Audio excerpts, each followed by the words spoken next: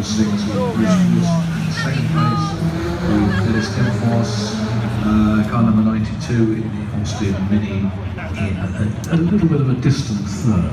Really dropping back And it looks as if the Renault, uh, Renault R8 has had a bit of contact with something a bit solid because his front is a bit bent.